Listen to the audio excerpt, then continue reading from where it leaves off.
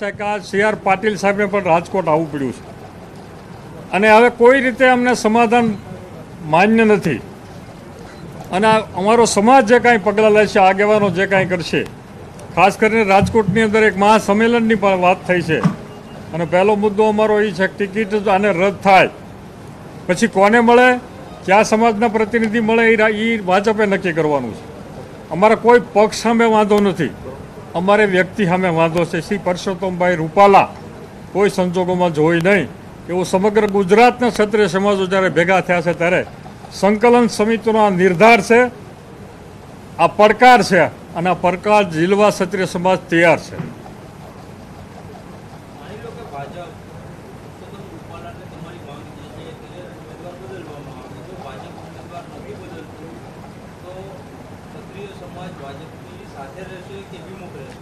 ક્ષત્રિય સમાજ ભાજપની વિરોધ કરતો નથી.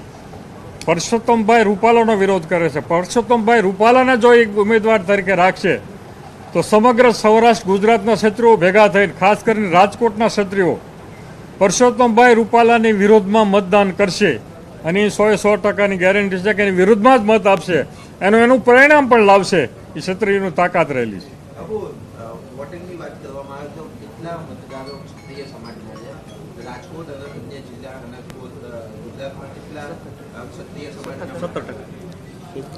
સમગ્ર ગુજરાતની અંદર સત્તર ટકા જેવા અમારું મતદાન છે ને અમારી વસ્તી છે. એમાં જિલ્લા જિલ્લાની વાત કરીએ તો રાજકોટ જિલ્લાની અંદર પણ ત્રણથી ચાર લાખ જેવો મતદાર આ વિસ્તાર ઉપર આવે છે. તો ત્રણથી ચાર લાખ મતદારો એક તરફી મતદાન કરે અને હંમેશા ક્ષત્રિય સમાજ સાથે અન્ય સમાજ પણ જોડાયેલો રહે છે. ક્ષત્રિય સમાજની એક એક વ્યક્તિની એવી તાકાત છે કે જે દસ દસ મત લાવી શકે.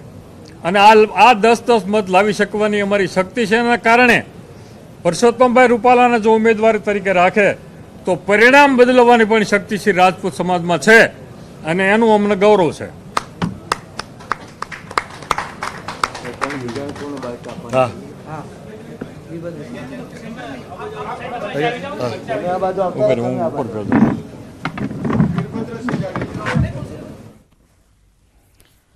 તો ક્ષત્રિય રાજપૂત સમાજનું કહેવું છે કે અમારે આ ઉમેદવાર જોઈએ જ નહીં. પુરુષોત્તમ રૂપાલાએ જે રીતે નિવેદન આપ્યું હતું ત્યારબાદ તેમણે માફી પણ માંગી હતી પરંતુ ક્ષત્રિય રાજપૂત સમાજને માફીથી નહીં ચાલે. તેમનું કહેવું છે કે ઉમેદવાર બદલવા જોઈએ તો જ અમે માનીશું નહીતર વિરોધમાં મતદાન કરીશું. હું વીરભદ્રસિંહ જાડેજા શ્રી રાજપૂત કણેશના પ્રદેશ અધ્યક્ષ. આજે આ બેઠકમાં જે ચર્ચા થઈ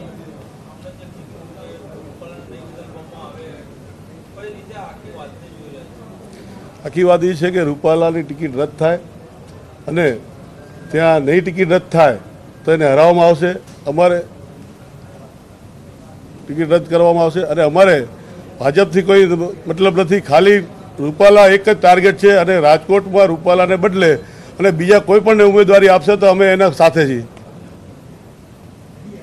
બાપુ આમાં અત્યારે જે પુરુષોત્તમ રૂપાલાનો જે જે વીડિયો વાયરલ થયા બાદ ક્ષત્રિય સમાજ ભેગો થયો. તો આ મુદ્દો માત્ર જે વાયરલ વીડિયો થયો અને જે તમારું જે નાગરિક દુબાઈ એ મુદ્દો છે અત્યારે. બીજો અન્ય આપણે લોકસભાની ચૂંટણીમાં ટિકિટ બાબતે ચર્ચા કરી. ના એનો કોઈ મુદ્દો નથી. સાંભળો. લોકસભામાં કોઈ ટિકિટ અમને મળી નથી. સમાજના સંગઠનમાં ક્યાંય સ્થાન નથી મળ્યું. તોય રાજપૂત સમાજ શાંત બેઠો છે. કારણ કે સમજુ સમાજ છે. અમુક સમાજમાં બબે ટિકિટો મળી તોય વિરોધ કરે છે. તોય અમે શાંતિથી બેઠા. આજે અમારી ઇજ્જત ઉપર ગયા છે. બા, દીકરી, બેટી ઉપર ગયા છે. ત્યારે અમારે આ વિરોધ કરવો પડશે ને. એમાં માફ કરવામાં નહીં આવે અને અમે કોઈ નેતા છીએ, આગેવાનો છીએ, પણ સમાજ માફ નહીં કરે ને સમાજ ભેગા છીએ. સમાજ માફ કરે તો જ માફ કરે, બાકી માફ કરવામાં નહીં આવે.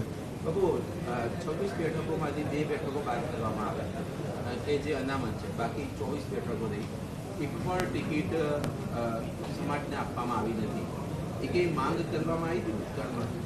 અમે માગણી માગણી અમે મૂકી હતી, પણ અમારી નથી મંજૂર કરી, બીજા સમાજમાં નથી આપી, તોય અમે અમે શાંત બેઠા હતા, તોય અમે ભાજપ એસી ટકા રાજપૂત ભાજપ ભેગા છે.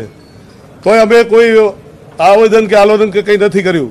પણ જ્યારે અમારી અસ્મિતા ઉપર અને અમારી ઇજ્જત ઉપર જાય, અને જો અમે ચૂપ રહીએ તો પછી અમારે કોઈ અમારું અસ્તિત્વ રહેતું નથી. એટલે આ વસ્તુમાં માફ કરવામાં નહીં આવે, અને એને રદ કરે કારણ કે આવડો મોટો સમાજ જો પરસોત્તમ રૂપાલા મોદી સાહેબને અમિત સાહેબને કહું છું કે જો આ સમાજ કરતાં તમને પરસોત્તમ રૂપાલા વાલો હોય, તો પછી પરિણામ ભોગવવાની તૈયારી રાખજો.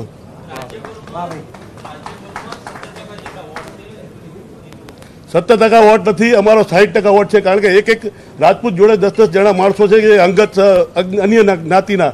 એ અમારા ભેગા અમે કહીએ, અહીંયા સવાર, તો સવારે સાંજ જોડે એવા સંબંધ છે. એટલે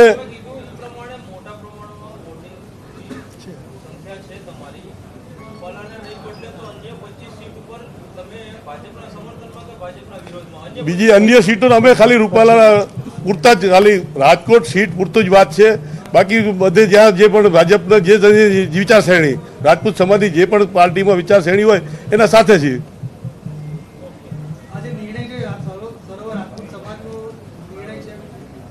આજે સમગ્ર રાજપૂત સમાજની દરેક નાની મોટી સંસ્થાના નેવું નેવું સંસ્થાના બધા આગેવાનો છે અત્યારે જે ભેગા થયા છે.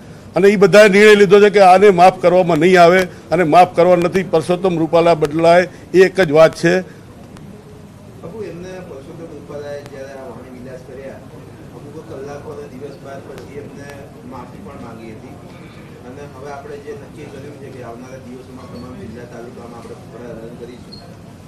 એ માફી અંગે તમે શું કહો છો? અને બીજી વસ્તુ કે પુતળા દહનનો કાર્યક્રમ ક્યારથી શરૂ કરશો માફી જે માગી છે ને માફી નથી. માફીમાં એમણે એમ કીધું કે ભાઈ રાજપૂત સમાજને દુઃખ થયું તો હું માફી માગું છું. નહીતર પોતાને દિલથી દુઃખ થયું છે કે મારાથી ખોટું થઈ ગયું છે. એટલે માફી ખાલી, અને અહીંયા અત્યારે ગરજ છે એટલે માફી માગે છે. બાકી પાછા એ જ રંગમાં આવી જાય. એટલે માફ કરવામાં આવે, કારણ કે જેટલી વાર રાજપૂતે માફ કર્યું છે ને તેથી આ જ ભોગવવાનું છે. એટલે આજે ફેર માફ કરવાનું નથી આવતું. હા ટિકિટ પરત ખેંચો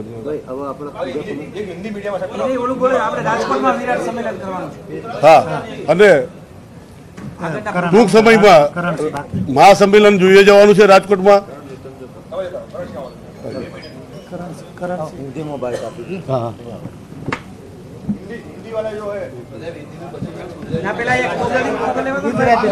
ક્ષત્રિય રાજપૂત સમાજની એક જ માંગ છે ઉમેદવાર બદલો. ગમે તે થાય ઉમેદવાર બદલો. જે પ્રકારની ટિપ્પણી કરવામાં આવી છે તે અમે સાખી નહીં લઈએ. ભલે તેમણે માફી માંગી છે પરંતુ દિલથી માફી નથી માંગી તેમણે કહ્યું. અમારા વડીલોએ વાત કરી એમ સમગ્ર ગુજરાતની નેવું ઉપરાંત સંસ્થાઓની સંકલન સમિતિની આજે મિટિંગ થઈ. અને મિટિંગમાં ખૂબ ચર્ચા વિચારણાના અંતે જે મુદ્દાઓ નક્કી કર્યા, એમાં પહેલા નંબરનો મુદ્દો કે અમે ભાજપ હાઈકમાન્ડને વિનંતી કરીએ છીએ કે પુરુષોત્તમ રૂપાલાએ જે વાણી વિલાસ કર્યો છે, અમારી અસ્મિતા ઉપર ઘા કર્યો છે, તો એ પુરુષોત્તમ રૂપાલાની